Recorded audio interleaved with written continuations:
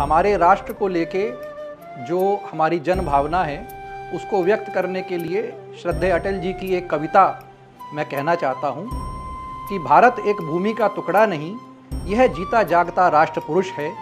हिमालय हमारा मस्तक है, कश्मीर हमारा किरीट है, पंजाब और बंगाल जैसे दो मज़बूत कंधे हैं और पश्चिमी और पूर्वी तट हमारी मज़बूत जंगा हैं।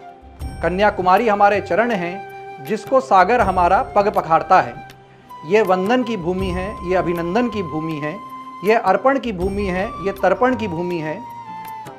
इसके हर नदी में हमारी गंगा है और इसके हर कण कण में हमारे शंकर हैं। हम जिएँगे तो इस भूमि के लिए, हम मरेंगे तो इस भूमि के लिए।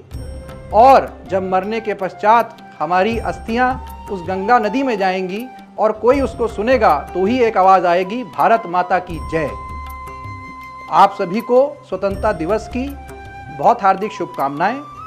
और क्योंकि बहुत सारी महान आत्माओं ने जो है इसके लिए बलिदान दिया है तो हमें हमेशा याद रखना चाहिए कि जो पाया उसमें न खो जाएँ और जो खोया है उसको भी याद करें।